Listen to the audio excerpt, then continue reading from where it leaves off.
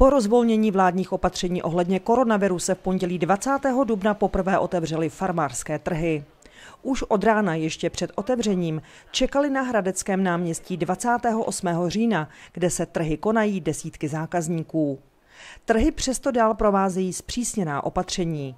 Mezi prodejci se musí držet minimálně dvoumetrové rozestupy. Prodejci musí mít rukavice a lidem musí být k dispozici dezinfekční prostředky. Prodej na náměstí 28. října probíhal podle stanovených opatření. Vzhledem k tomu, že tady jsou prodejní místa spojená, tak některé stoly zůstaly kvůli dodržení dvoumetrových rozestupů prázdné. Trhovců tak bylo méně než obvykle. Více než po měsíci se otevřely vlastně farmářský, zelinářský trhy. Ano. Co to pro vás obecně jakoby znamená? No záchrana.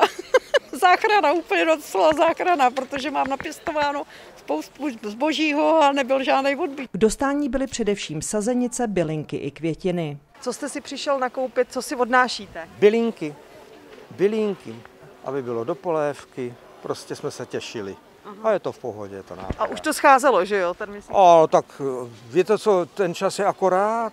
Já si myslím, že to akorát to otevřeli přesně tak, jak potřebujeme. Trhy se otevřely po více než měsíční pauze a prodejci přiznávali, že museli některou sadbu vyhodit a ztráty jsou veliké.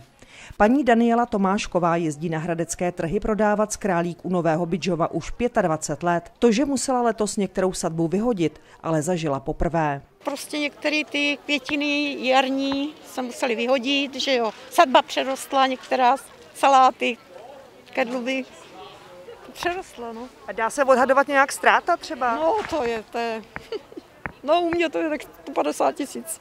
Vládou nařízená opatření trhovci i nakupující ve směs dodržovali a chránili si svůj osobní prostor. Počty zákazníků jasně ukázaly, že se lidé na otevření trhů a nákup tohoto artiklu těšili. A zájem ze strany lidí je, i když musíte dodržovat teda eh, rozestupy? Jo, je, je, je. Tak lidi jsou asi nadržený. Stejskalo se ním po nás. Aha.